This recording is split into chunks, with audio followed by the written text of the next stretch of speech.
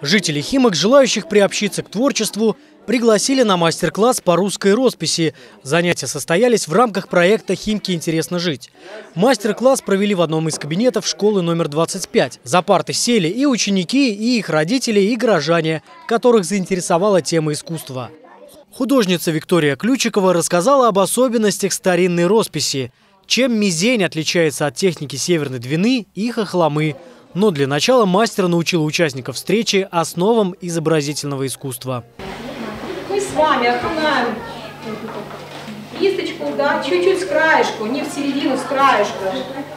Чуть-чуть набираем красочку. В эту раз очень хорошую красочку я взяла.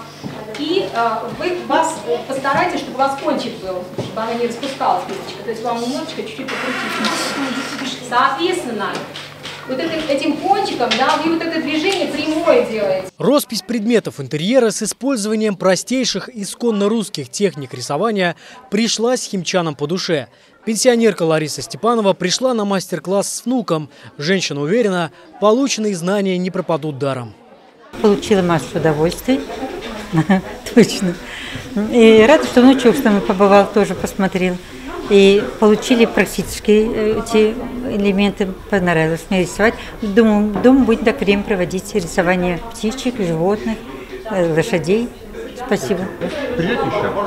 Обязательно. Мастер-классы в Фимках проходят каждый день. Интерес к ним только растет.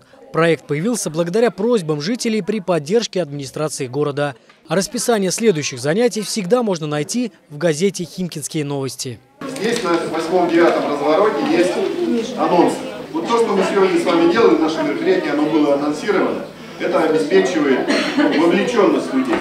Также узнать о ближайших встречах можно в соцсетях по хэштегу «Химки интересно жить» и на специальном сайте.